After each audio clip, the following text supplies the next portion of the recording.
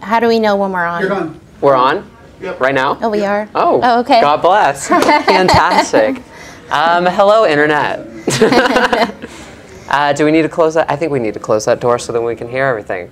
Um, hello, internet. My name's Amy Jade, and this is Rhea Marsh. Um. My preferred pronouns are sh- she and her. fantastic, fantastic. I think Ria, you're going to show us a little bit of craftiness. Yeah, so most people have candle or lighting elements in their house, and um, if you go to like Pier One, you would get a hurricane vase. Um, we're gonna make a queericane vase today. It's got um, the trans colors, and then we've got um, some snowflakes, so it's very winter themed. Um, everything that we're making our craft with today can be bought at a Dollar Tree or any dollar store near you for under $10, so it's very inexpensive to make. Um, the first thing that you need is a um, glass vase. Um, They come in varying sizes. As you can see, this one's a little bit shorter. Um, for this purpose, I um, got a taller one so it was easier to see. Then we've got two, you can really do this with any color ribbons that I'll you want. white it. I'll fan yeah. So these um, these come in rolls, and they, these are all a dollar a piece, and they come in all different colors and textures. And then um, for this project, I added a little bit of sparkle because I love sparkle. And then there's a pack of um, ornamental stars or snowflakes that you can buy. Um, you can they're varying types at the dollar store. We love a snowflake. And then there's these little, if you don't want to use a flame candle or if you live somewhere that restricts flame, there's these little flameless votives that you can get.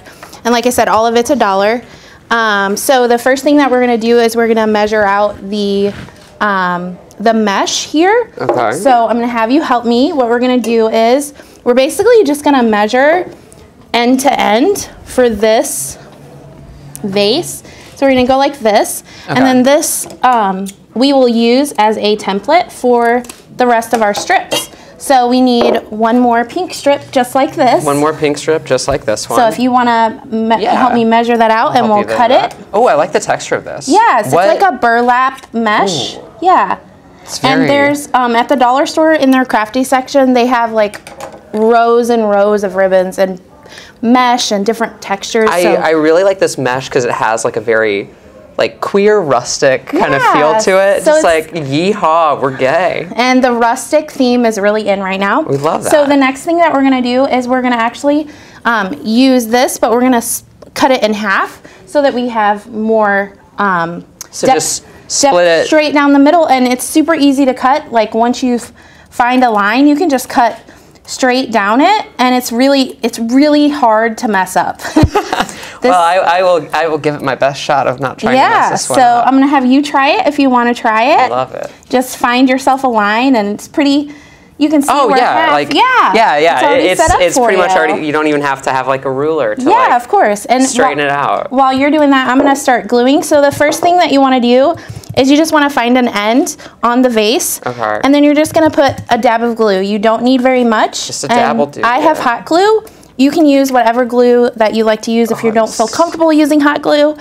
But then you're just going to place it on there and hold the end um, end to end and let the glue dry.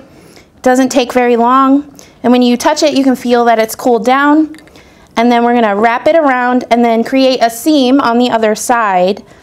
Once we do that and then what we're going to do is alternate the colors the pink and the blue Okay. just like we did on this one here Oh, that seam seems perfect. yeah so and once you put the snowflakes on it you're not going to see the seam anyway. So i'm ocd so i'm going to have my seams all match up. Um, but you can do it however you want. It's really no wrong way to do it. And you can put as many strips of ribbon that you would like or little. It's totally up to you. Fantastic. so then we're going to do a pink row here. Yeah. I can do this one if you want to talk Yeah, about sure if you want to talk about um, your business. Yeah, so it's really just creations. I say um, my tagline is um, um, creative consultant and contractor. So this Christmas, I've been making Christmas gifts for friends and um, helping them, you know, give the best gift that they can that comes from the heart. Oh, I but love that. Um, I've always kind of been a crafty person. Yeah. Um, but um, I recently became sober, and today is actually my 21 month Oh my God, sobriety anniversary. So, um, but through my sobriety, um, something I learned in AA was busy hands are sober ones. And so through that, I have really just like kind of immersed myself in crafting and arts and drawing and writing. And recently here, I've delved a little bit back into my writing. So oh my God, that's so that's such a great job. Was it? Yeah. Is my seam seam tastic? I don't know. yeah, perfect. Okay, I got glue all over my hands, though. I'm not very good at that. that I like to teach people about Yeah. glue. So whenever whatever surface that you're gluing on, if when you're done gluing, if you just kind of like Just kind of like break the edge it. off, it will it will um, reduce that stringy Oh, really? um, yeah Oh my extraness goodness. from the vase. So They never taught me this. In yeah, it's all like tricks of the trade that you learn from Yeah. crafting. Is my is my band tight enough? I feel like it's gonna just like wiggle No, on down. No, because once we um, put the other um, elements on top Okay, of it, it'll it's keep it really together. not going to move a whole Oh lot. So this thing is like if it's me proof, then anyone can do it. Yeah, it's, oh super super easy. Love it. Um, it can be made. It would be a, this would be a fun craft to make with your family. Everyone sit around. Of course, the adults need to be using the hot glue gun, but honestly, you could use. then I shouldn't be using the hot glue gun. You could you, you could honestly be using any type of glue. Oh, goodness. I like to use hot glue because it's a little more sustainable and lasts over time. Mm. Um, and then we're gonna do our pink here, Love it. our last one. So what is just a, it's a hurricane vase? Yeah, so I just dubbed it a queer cane vase to kind of be a little festive Love that. and inclusive for the um, MTUG telethon, but you can call it whatever you want. I just happened to call it a queer cane vase because I thought it was witty. And Who was the was it Matthew Kane? What the guy who plays um, Albert the butler from Batman? I, Michael Caine. Michael Caine. Mike. We could make a Michael Caine vase and just cut out a bunch of pictures of Michael Caine. so um, That was dumb. I'm sorry. for um, this one, um, I just got this little sequin um, strips in the same color. You can either put them over the same color or you can alternate if you want to do that. Ooh, I like the alternate. I we want to that's really alternate this one. Yeah. So yeah, so we're just gonna do that. Um, and just like with the other ones, we're just gonna measure really quick and it doesn't Oh, have to be perfect. Oh, it's no problem. Okay. It doesn't have to be perfect because whatever you, if you cut it too long or too short, you can always trim it up or just cut a new piece. Yeah. I mean, and you get so much perfect. for a dollar. Yeah. So, It's perfect however you want to be. so I'm gonna find the seam here and um, we're alternating because that's what Amy Jade wanted to do. And um, we're just gonna put place it here and you really don't need that much. It's like very Just little, just a ya. dab, just a It's dab just like it's like ya. a half a pea. and then you bring it around. Okay. and then you just glue right on top of it. You don't have to, it doesn't have to be perfect, and I think the more organic it looks, the better. Um, some people like things to be a little more perfect, but honestly, I think just whatever your preference is, you can really just do whatever you want. Oh, I love I love an imperfect thing. It's uh, the people I date. so then you have the blue ready, Okay. Yeah. And then we're gonna put that right over here. We're gonna start Just it on the seam. Yep. Start right back on I'm the seam. Yeah, put if you don't some give- glue don't mind there, giving me just a little bit of glue. And you see how I just kind Yeah. of That was a good up? way. Yeah. So just a dab of glue. and then, Um, and then wrap it around. Oh, I went way too far. but this is where we learn. So Yeah. like you can just take it and just overlap it a little, and just, Just give it a little snip. Oh, yep. Oh, goodness. So then we're gonna place a little dab of glue here, Dab that little glue back in there. and you see how you don't get that string of. Oh yeah, you, you have Excess got it glue. down to an art. Oh, trust me, I have burned my fingers plenty of oh, times. Oh, so. What are your favorite like materials to work with when you're crafting?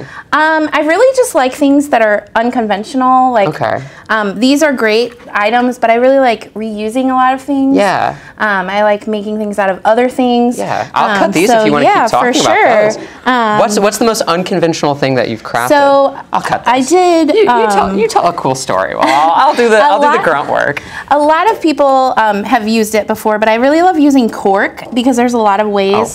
Wine corks um, and bottle corks. Um, there's a lot of ways you can use it. You can make trivets, which are like What's a trip? A Um, so if you have a hot pan, if you glue a bunch of corks, cut them in half, and Yeah. glue them down on a a smaller frame, you can create a trivet for a pan. Um, a friend of mine in her wedding, she actually um, cut, cut them in half and made the letters L.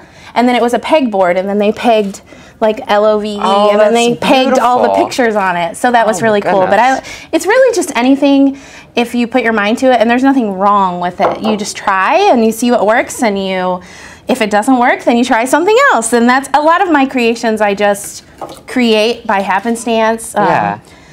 Sometimes, but most of the time, it's just I just have fun with it, and that I think that's the whole point, isn't it? Oh, 100%. what what have you done that just like did not work? It just would not would not Um, fly. I think one of the worst projects I ever did. I was trying to do this deal with clothespins. Okay. and I was trying to create a mosaic with clothespins. really? I didn't. Um, I didn't think it through, Yeah. And so it ended up just looking like a bunch of painted clothespins. So I just that that's one of those. But that's that's very outside of the box thinking. yeah, but it's like trial and error, and Yeah. yeah. Oh my goodness. So since we're almost done putting on this glitter trim, um, so this um, at the dollar store by my house, um, this came in a pack of five, and you can use all of them or just a few of them. Um, and they're basically just ornaments, but we're gonna use them if we can get it out of the. I, I'm I You're am not doing an great. expert. No, you. it looks great, and I really like the alternating colors. It actually like makes it pop even it- more. yeah, it makes it look a little bit more candy-ish. Yeah. Like I, I would I would lick it. So once again, I love glitter. Um, so then the next thing that we're gonna do is you can really just place these where you want. Um, Just I slap think them wherever. I think for this one we're just gonna go straight down the front. Yeah. If I think we can do It's a real that. buttoned up look. Yeah. This is a professional queer can. What is it? A Queer cane. Queer cane. Sorry, I've got to. So then I just use the um, the the seam of the Oh, snowflake. perfect. Yeah, to put the glue on, and then I'm just gonna cut off the ornamental string like right we're not putting line. it on a tree. Oh no, we're not. We don't need to put a queer cane on a tree. So then you can just place it really anywhere. It's really just where your preference is. Yeah. Um, I'm gonna put it right here, and then wherever you want to put it. If I you wanna put, put it it? straight down, or I might. Yeah, I think I'm just gonna go straight down. I really like this button-down, business-ready queer cane vase. Oh my goodness, I have got such a shaky hand. but you didn't have any str- I didn't. I didn't. I, strings. I'm improving. So then we're gonna just place it, Right on there. and even if we wanted to, we probably could have added another ribbon here. But honestly, like there really is no way, no wrong, right or wrong way. It's really just what you prefer. And then just like this other one, we're just gonna pop this in there. Um, you can use real candles in these. Um, just make sure to use a votive, not a pillar candle, because if too much heat gets on the inside of the glass, Really? it will reheat the hot glue. oh, and then it'll all just. and then it'll all just fall apart. So we don't want that to happen. is that is that an experience of like Um, I have learned that. So trial we're and just error. gonna pop this down in there. pop that on in there? I don't know if Oh, I can. I'll, I'll wiggle it. yeah. I'll just.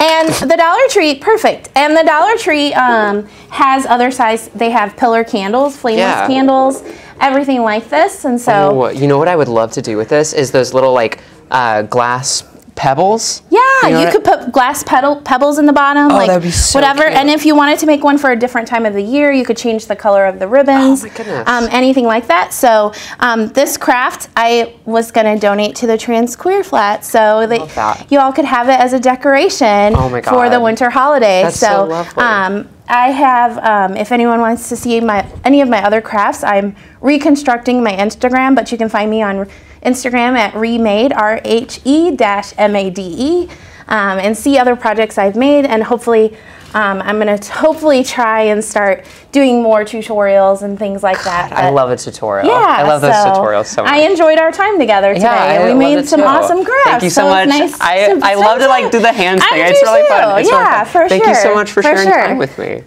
Oh my goodness. Um, eh, do we make the move now? Do I make the little the walkabout? Do you need to pan with me, or do I just disappear from the camera? Hello,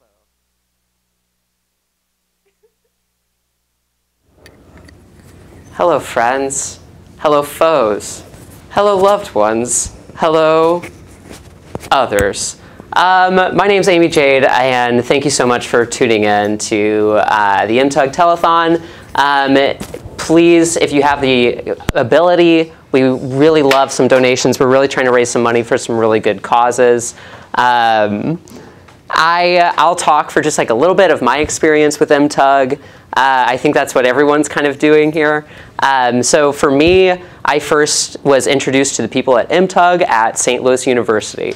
Uh, a couple of the people, including Sayer Johnson, of course, because he's everywhere, uh, showed up and, and uh, were welcomed onto campus to talk about the experiences of being trans, about the organization, about the people that they've known, and just, just life stories, you know, the stuff that we love to hear, we love to listen to.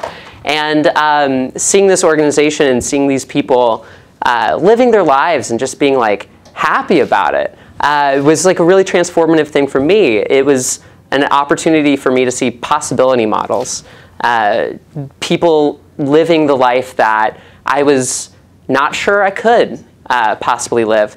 But after meeting the people over at MTUG, I was able to start dealing with some internalized things, and it helped me be able to realize that I wanted to transition and that I needed to transition. Um, so please, like this is a very good organization, and if you have the time, if you have the money, please donate your your resources or just like come by, say hey to everybody at the at the house, like they're great people. Um, thank you so much for tuning in, whoever is watching me do this. Um, I did not have a, enough of a prepared uh, series of things to say, but that's fine. We're all just kind of flying by the seat of our pants, aren't we? It makes it exciting. It makes it fun. It makes it organic when we love organic things. Um, again, thank you for uh, Rhea for this. I'm going to show off your little thing one more time to make sure that everybody sees. Should I back up? Am I out of, am I out of focus? Thank you. Thank you so much. Update on the donor list? Yes, please. Thank you so much. Allora. okay, we got the donor list. Should I just read through it? Yeah. Okay. Um, hours five and six, telethon donors. We have the Sisters of St. Joseph for $300. Should I say the amounts? Or is that. Okay, not all of them have amounts. Is that okay? Yeah, some didn't show up. Okay, yeah, that's totally fine. um, I would like to thank the Sisters of St. Joseph so much. Thank you um, from the bottom of our hearts. I keep touching my thing and I need to stop or I'm going to cause like some bad audio, aren't I? Oh, I'm very sorry. Uh, Marcia Spicer, thank you so much for your donation. Kathy Bergeron Williams, I hope I said that right, um, but thank you so much for your donation. Melanie Severs, thank you so much for your donation. Um, Leia Patriarco, that's a fun Italian name. Uh, thank you so much for the $100 that you donated. We really, really appreciate it. Ash G, thanks, friend, for your donation. I should come up with more creative things to say for all of these, shouldn't I? Uh, Michelle Landau. Landau? Land, Landio? Landua? I'm sorry, that's probably not the most nice thing to do. Michelle, thank you so much for your donation. Um, Elizabeth Spicer, uh, no idea if you're related to Marcia Spicer, but like you Spicers are really, really helping us out here, and we really, really appreciate it. Haley Green, you stay, you stay green, you stay verdant. Um, thank you for supporting us and like our mission here today. Uh, Christina Schmeider, thank you. Thank you, Christina. Thank you. Uh, Jasmine Maurer, uh, bless you from your from my heart to yours. Bless you. Thank you for your support. Um, Timothy Lure, I'm so sorry. I know that you probably get this too much. Timothy Lurens, thank you. And again, I apologize for butchering your last name. Uh, Melissa Rude. Rude, attitude. Thank you, Melissa, for your support. Noki Ray. Thank you, Noki. I, God bless you, Noki. Uh, Andrea Melanie, thank you so much for your support. Shannon Weintraub Rollman, thank you. Thank, thank all three of your names, thank you. All right, fantastic. We are up to a total of $7,892. Y'all are really changing some lives, and you're supporting an organization that does amazing stuff. Um, that is the Telethon uh, donor update from hours five and six.